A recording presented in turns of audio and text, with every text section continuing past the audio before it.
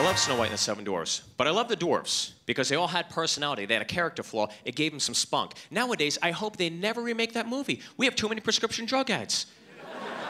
They want to neuter everybody. The whole movie would be different. Doc could come in the first scene. All right, I told you all what to do to better yourselves. You obviously don't listen to me, so it's medicine time. Dopey, I've told you a hundred times. Please eat some more fish. It's good for your brain. You don't listen to me. I'm going to get some Fenzer okay? Grumpy, nobody likes being around you. You're depressing. I'm going to give an upper. We're going to get you some Zoloft. Happy, it's too happy. Bring it down a notch. You're kind of annoying. I'm going to get you some Seconal. Bashful, we all like to go out after work. We want to meet some girls. You're cock blocking us. Get in the mix. I'm going to get you some Adderall. Sneezy, I know you're out there in the fields. Your allergies are acting up. You cannot whistle when you work. I'm gonna get you some Claritin. Sleepy, you're the only one on drugs. I gotta get you off the Ambien, get you to Starbucks, or drink some Red Bull, okay?